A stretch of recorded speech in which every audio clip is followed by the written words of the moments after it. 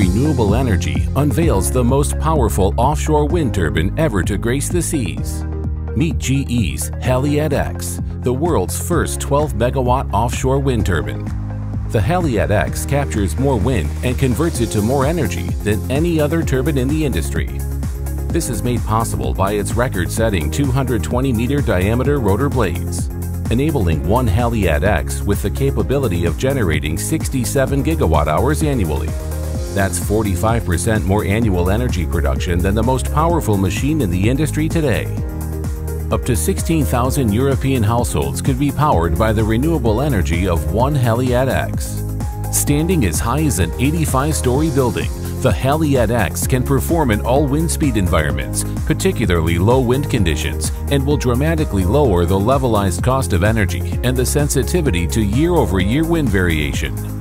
The innovative 107-meter carbon hybrid blades designed by LM Wind Power, combined with a 12 megawatt generator rating and the Predix power digital capabilities of GE's largest high-efficiency turbine, the Haliade X will create conditions that improve balance of plant costs, capex and opex costs, installation cycle time, operations, and time at sea.